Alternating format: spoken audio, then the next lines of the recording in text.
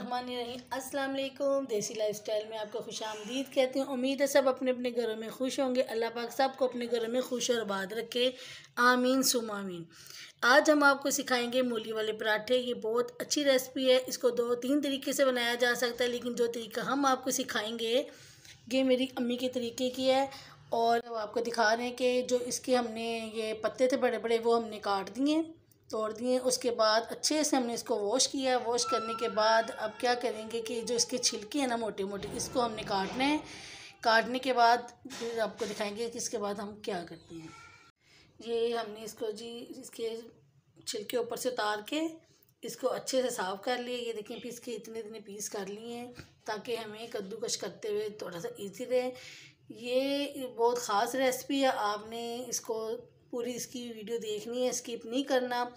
फिर ही आपको समझ आएगी कि इसको कैसे बनाना है, ठीक है? आपने हमारे साथ साथ रहना है और अब हम आपको दिखाएँगे कि इसके बाद हमने क्या करना है। बात जो आपको बतानी थी वो ये देखें कि ये जो है कद्दूकश वाली जो है मशीन है, करना तो हमने हाथ से ही है। जो इसकी ये वाली तरफ़ ना ये बहुत बरीक हो जाएगी, ठीक है? ना तो हम नहीं करेंगे, ये मोटी वाली तरफ़ से।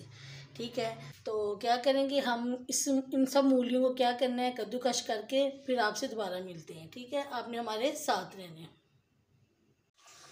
अच्छा ये देखें जी, अब हमने इसको कर दिया है, कद्दूकश करके रख दिया है। इसके जो ब्रीक ब्रीक लीव्स थे, जो पत्ते थे तो वो भी हमने इसको, इसके अंदर ही कटिंग कर दी है। अब आगे का जो प्रोसीजर है, जो ख़ास है, वो अब आपको बताते हैं, इसके बाद क्या करना है। आपने हमारे साथ रहना है, क्योंकि बाज़ खातन ये समझ रही होंगी जी क्या कर रहे हैं इसको, इस मलमल के कपड़े में निचोड़ के और ज़्यादा से ज़्यादा क्या करना है, लेकिन अब हम बताएँगे कि हमने क्या करना है, क्योंकि हमने थोड़ा सा डिफरेंट बनाना है, ठीक है? तो देखें आगे क्या करते हैं। सबसे पहले तो हमारा मेन जो काम है वो ये है कि हमें एक कढ़ाई लेनी है।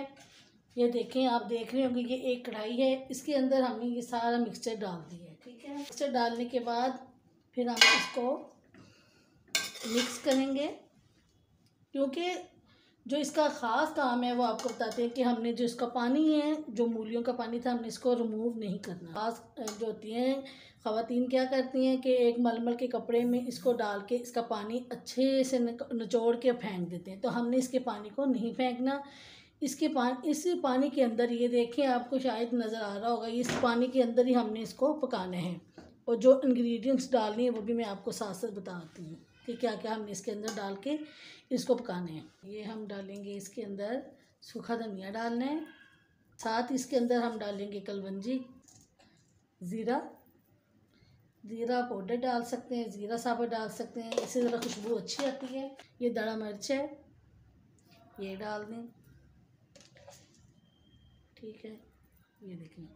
डेढ़ से दो चम्मच आप भर के डाल सकते हैं, क्योंकि ये दो किलो मूली है। इस वजह से।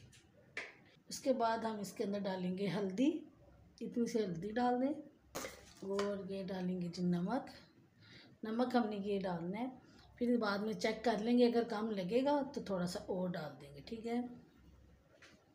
फिर हम इसको अच्छे से करेंगे मिक्स।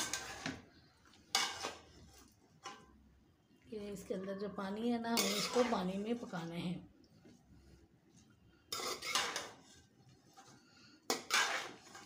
अभी इसमें और भी मसाले डलेंगे, वो भी आपको दिखाएँगे।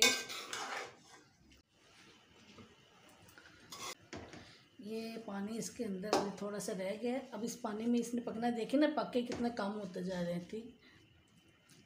इसके अंदर प्याज भी ऐड कर सकते हैं, वो आपकी अपनी मर्ज़ी है, ठीक? सात से आठ अदद हरी मिर्चें हैं, वो आपने ऐड करनी इसके अंदर।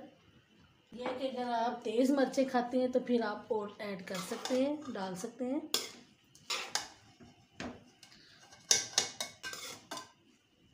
पक के ना अभी भूलेंगे, आपको नज़र आ रहा ना, पक रही है ये पक पक के फिर आपको पता चलेगा ये कैसे बनता है।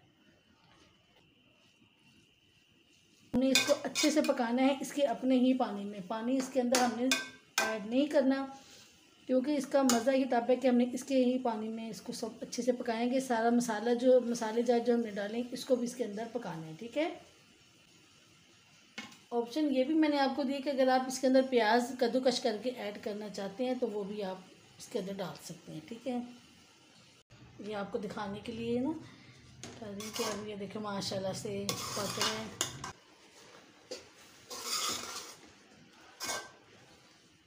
अब ये पकने के करीब हो गया है, तकरीबन। और पानी भी थोड़ा सा इसका रह गया, ड्राई हो रहा है आस्ता आस्ता ये आपको दिखाते हैं, ये देखिए, थोड़ा सा पानी रह गया, इसमें बाकी पक जाएगा।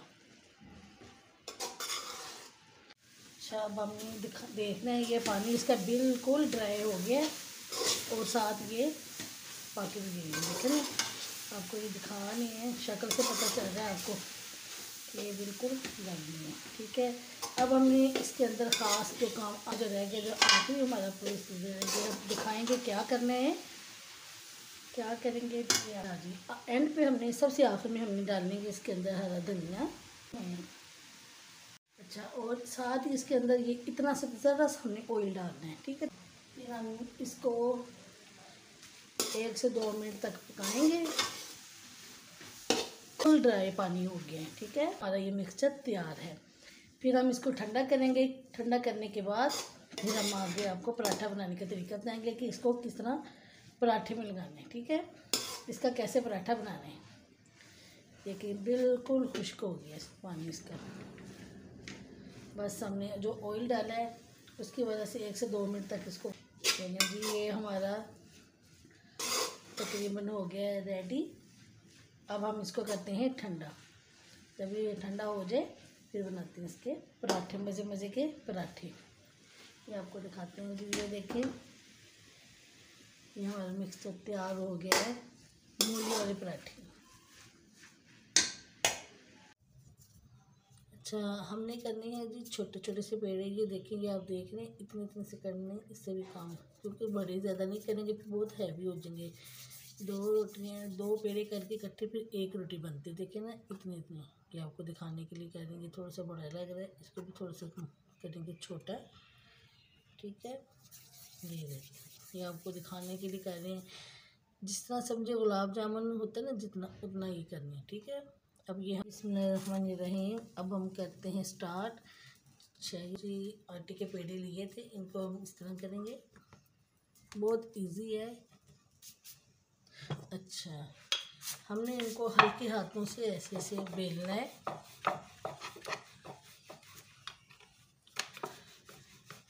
साथ हमने जी तवा रख दिया चूल्हे पे ताकि वो तब तक गर्म हो जाए ठीक है? जितने मैं आपको बता रही हूँ ना, इतने इतना हमने साइज़ का करना है, ठीक है? अब ये हमने इतने साइज़ का बना लिए, ये आपको दिखाने के लिए बता रही हूँ, ठीक है? ये देखिए, इतने साइज़ का ले लिया। अब हम इसको एक प्लेट में रखते हैं। इसको भी उतने ही साइज़ में बेलना है।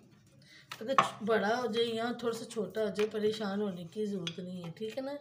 ये उन बच्चियों के लिए है जो अभी भी पढ़ाई कंप्लीट करके फारग हुई हैं, जिनको पराठा नहीं बनाना आता या जिनकी नई नई शादी हुई है, अभी उनको कुकिंग करनी नहीं आती है तो ये उन बच्चियों के लिए, ठीक है?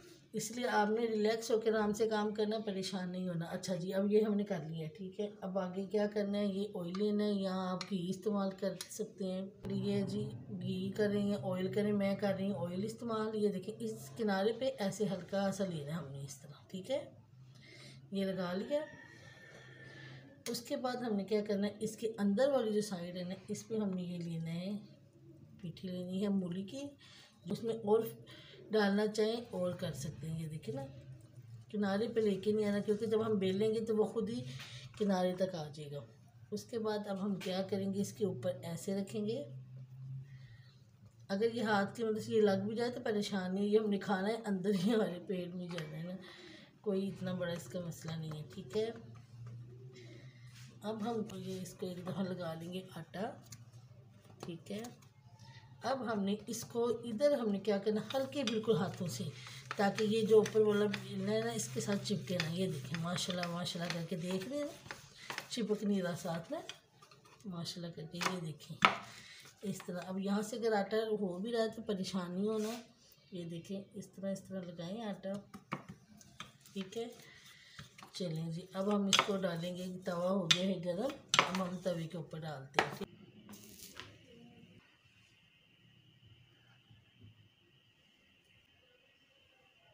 ये बहुत आसान सा है, इसके लिए कोई भी मुश्किल नहीं है। मुझे पता है जो बेटियाँ हैं, जिनके लिए थोड़ी सी मुश्किल होगी बनाते वक्त, लेकिन आपने मेरे तरीके से पकाना है इन शाला ताला आपको कोई मुश्किल परेशानी नहीं होगी। और जितना कि मिक्सर मैंने बनाया ये आठ से दस अफराद के लिए, ठीक है? अगर आप दो या तीन अफराद हैं तो आप ऐसे करना है कि एक बड़ी साइज़ की मूली लेके ना, अंदर से ख़राब ना हो, जो होती है, अंदर से पकी भी होती है। तो आपने थोड़ी सी जो आखिर एंड पे होता है ना, थोड़ी सी तोड़ के देख लेंगे, ठीक है? अब ये देखें, पहले एक साइड से पकाई, फिर दूसरी से, और इसके ऊपर डालेंगे जी ऑयल ये देखिए ठीक है ऑयल डाल दिया। इसके साथ ये चिमटी मिनट से हम करेंगे इसको ऐसे, ठीक है? ये हल्के हाथों से ताकि ये टूटे ना, ऐसे ऐसे आराम से पकते जाएगा। अच्छा तो मैंने कहा था जो तीन, दो से तीन अफराद उनके लिए बड़े साइज़ की मोटी मतलब वो बड़े साइज़ की एक ही मूली काफ़ी होगी, ठीक है? और जो इसके अंदर जो इंग्रेडिएंट्स है ना, वो आपने अपने, उसके हिसाब से थोड़े से कम कर देने, ठीक है? परेशान नहीं होना आपने अगर आपको ये हमारी वीडियो अच्छी लगी हो तो प्लीज़ इसको लाइक भी किया करें शेयर भी किया करें और हमारे चैनल को सब्सक्राइब भी करें। और जिस मेरे बहन भाई ने मूली वाला पराठा खाना है वेलकम आए, मैं आपको ये मूली वाला मज़ेदार सा पराठा खिलाऊँगी। जी जी हमारा मज़ेदार से मूली वाला पराठा रेडी है। ये देखेंगे मज़ेदार मूली का पराठा रेडी है और हम इसको चाय के साथ खाएँगे। जिस मेरे बहन भाइयों ने खाना हो तो वो मेरे पास आ जाए, मैं इंशाल्लाह उनको खिलाऊँगी और खाएँ और मज़े करें, ठीक है? अब आप हमें दें इजाज़त, अल्लाह हाफिज़ और मेरे चैनल को लाइक और सब्सक्राइब ज़रूर करें।